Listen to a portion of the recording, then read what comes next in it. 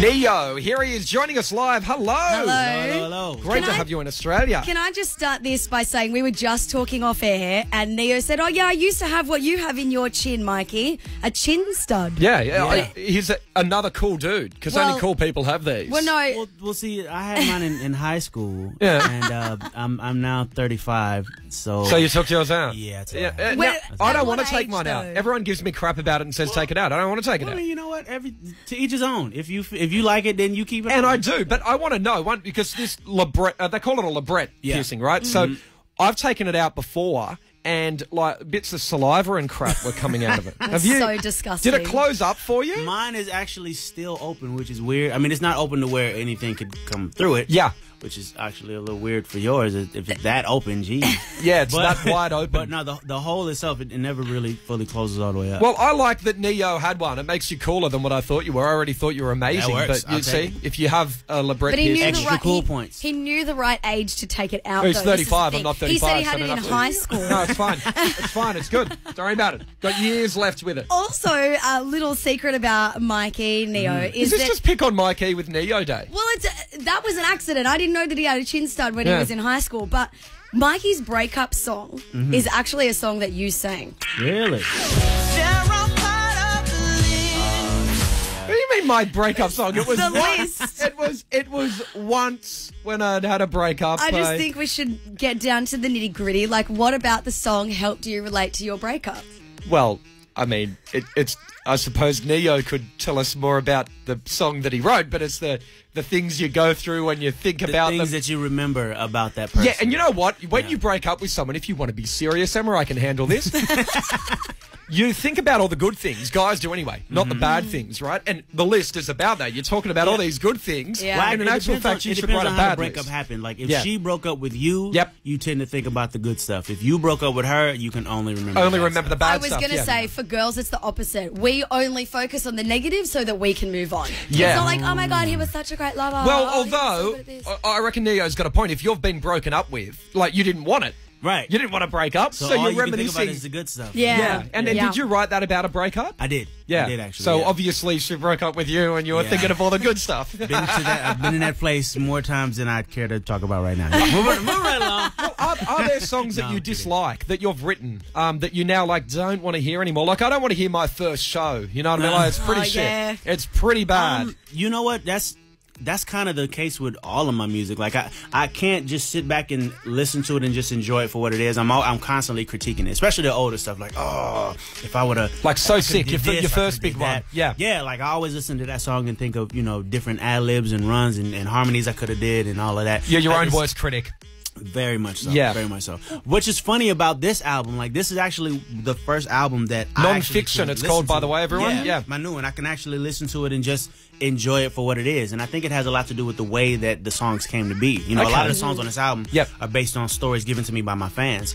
So Yeah. I kind of I kind of take myself out of it a little bit and, and think about it like I'm, I'm So it's I'm not talking about as somebody else. It's not about your inner turmoil. It's Not, about other not people's. every song, but yeah. there you go. It's other people's problems, so I can, you know, Yeah, you enjoy it that it's way. Yeah. enjoy other people's issues. There you go. You've written songs for huge artists like Rihanna and Mm-hmm. Beyonce. Have you ever written a song and given it away and gone, oh shit, I should have kept that for myself? I never have. I genuinely. So you give never them all the crap ones, all the ones you don't want.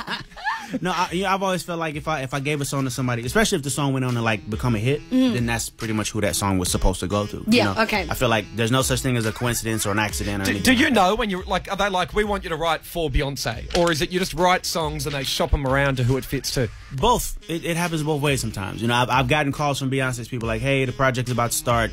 You know, submit whatever you like, and then I'll I'll be in the studio and just do something and go, "This would sound really good on this person." Hey, you- you- what, what, what is the biggest song you've written for someone else that we'd know of? Um, I I think the Beyonce record is the biggest thus far. Okay. Yeah, like irre- irreplaceable. And you wouldn't let someone write your music, would you? I mean, I, I've co-written with people before. Me Yeah. and Sia actually co-wrote uh, "Let Me Love You." Okay, Yeah. right, Sia. Yeah, because she was a songwriter before. Yeah. Um, she did her own thing as well. Now we need to talk about this. I don't even know how to say her name, Emma. You've been talking about Giuliana it. Rancic. Okay, have a listen to the comments. She's talking about Zendaya. hair to me overwhelms her. Like I feel like she she smells like patchouli oil.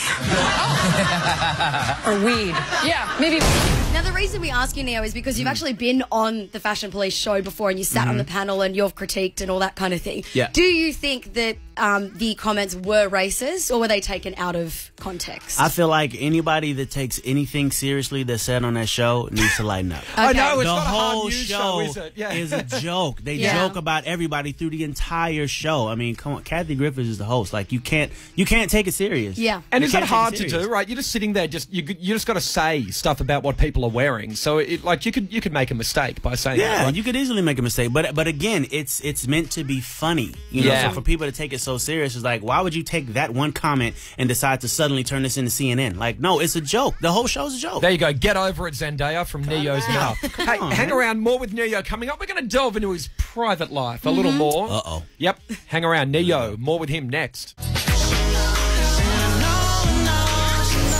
Well, Ne-Yo's joining us live in the studio after we got evacuated. Hello, Ne-Yo. The hell was that all about? I'm no longer a fire virgin, ladies and gentlemen.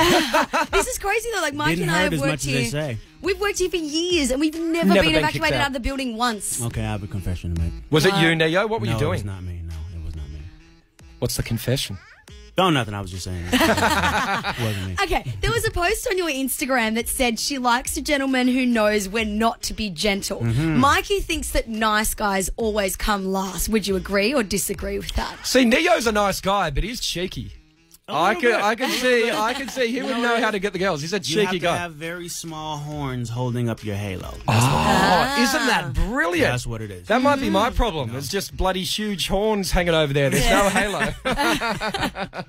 uh, now, there's a rumor that you were married because you and your girlfriend Crystal were spotted with matching left ring finger tattoos. Can we have a look at your left ring?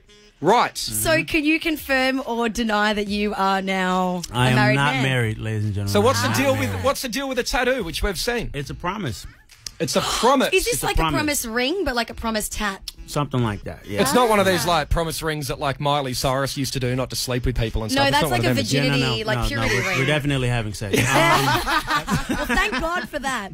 Do you know what? My uh, very first boyfriend gave me a promise ring as How'd a that go? Christmas present. Didn't work out. What'd you do to him again? Now I'm engaged to someone else. Yeah. Oh wow. Yeah. Well, that's not not So setting a good example for. It's really. No, I didn't get a tattoo though. I, I- I'm sure that if you get a tattoo, that means it's real and it's Yeah, gonna happen. no, That is- yeah. definitely real. Pretty damn permanent. and Definitely did you just find it was easier to get a tattoo than actually propose? Um, mm, yeah. no, you know what? Yeah, we're, we're happy right now. There's no there's no set date or anything like that. We're just we're in a happy place, and we That's decided good. to make the promise. So the promise has been made. When it does happen, you guys will be the first to know. Yeah, he'll he'll dial through to the edge. Absolutely. Won't call his mum or anything. He just calls us Nope, straight away. nope, Yep. you first. Engagement selfie on Instagram. Um, you you're a huge celebrity now, but it wasn't always like that. And Very- in, not at all. in um the song "Time of Our Lives" with Pitbull, you talk Mm-hmm. about like not being able to pay rent and like buying things that you can't afford. Mm-hmm. What was something that you could tell us about in your life before Ne-Yo was this Ne-Yo? Um, well, the funny thing is, is that in that I'm, you know, somewhat financially stable now. Like people feel like I always was. Like I never, I never had to struggle. Like I lived in a van for six months. Wow. That must have Really? When smelled. I first moved to LA, it was me and literally four other guys. We were a singing group. Yeah. And we we moved from from Las Vegas. I graduated high school in Las Vegas. Moved to LA. Uh, we our idea was we were going to go to the Capitol Records building. It's like one of the most yeah, yeah, I know the building. buildings. Yeah. Park our van in front of the building, stand on front of the van, stand on top of the van, and sing until the president of Capitol Records came out and just gave us a record. deal. And how did that Yeah. go? That didn't. No. We knew the security guards on a first name basis. They would come out every day and go, "All right, good job, guys. Move Get out of here." you know what I mean? So, what would you say to anyone listening right now who wants to be a star, who wants to be a singer? Um, how did you get there then? What, what What's your best advice? Well, the one thing I always tell people is, is that talent definitely counts for something. It absolutely does. It does, but yeah. it's not the only thing. no, persistence, hard work. Yeah, you have to be you have to be prepared to work and work harder than the people around you. Because mind you, there's billions of people that want to get into the business. It's so true. and not everybody's gonna get. No, most people have uh, people that can sing, so you got the little bit of talent there, and then on top of it is the hard work, isn't Yeah. it? it. You have to have some sort of work ethic. You have to have. A, it's a state of mind that you have to have. You have Yeah. to go. You know what? I'll sleep later. Yeah. Sleep sleep comes when I'm rich. I'll, I'll sleep on a bed of money. But right, right now, I got to get it. I got to get it going. I love that. That's great advice. And is it true that you hated the uh, sound of your own voice when you started? I didn't believe this when I read it. You got a great I voice. What do hated you- my voice when I first. Well, see, my mom. I, first and foremost, my, my mom's my hero. Yep. always has been. So she used to listen to like you know the O'Jays and the Temptations and like these really thick. Like oh, really masculine heavy- guys. Yeah, like these really heavy voices, and I hmm. didn't have that as a kid. I had like a really high, nasally, tingy voice, and I Right. hated it because I didn't sound like what my mom would listen to. So that's when she introduced me to Michael Jackson and Stevie Wonder. Okay. Yeah, and Yeah. From there, you know, hi, my name is Ne-Yo. The album is non-fiction. Yes. It is out now. Uh, Right Ne-Yo, now. thanks so much for coming in. Sorry that we kicked you out halfway during Yeah, the interview. thank due to- you for putting up with I the fire mean to put the- emergency. I didn't mean to set the building on fire. I Oh, he's so to- hot. That's what to happened. take a quick toke and I, I dropped it. Sorry, guys. Ne-Yo, thanks so much. Uh, All love. 12 to 9 right now. The Edge.